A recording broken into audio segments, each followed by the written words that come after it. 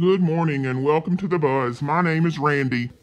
And I'm Camille, and we will be your host this morning. Please join us for a moment of silence.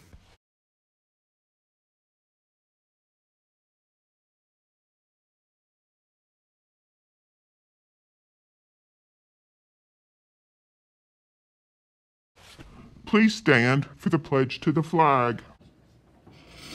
I pledge allegiance to the flag of the United States of America and to the republic for which it stands, one nation, under God, indivisible, with liberty and justice for all. And now for our student friendly mission statement.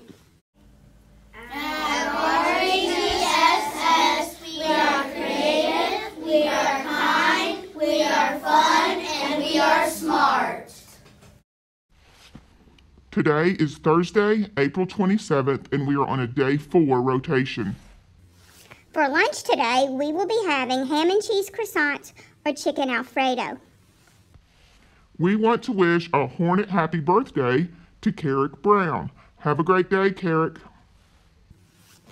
It's Thursday, so listen carefully to this week's Thinking Thursday trivia question. The question is What is the main ingredient in guacamole?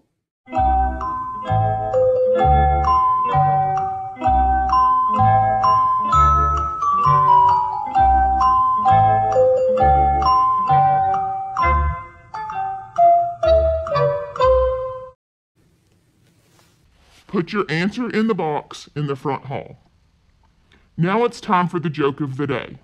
What do you call a scientist that studies dog bones? I don't know. What do you call a scientist that studies dog bones? A barchaeologist. Thanks and have a great day.